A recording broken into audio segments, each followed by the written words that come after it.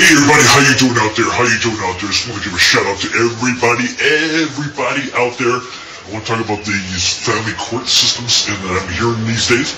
This is the United States. Let's.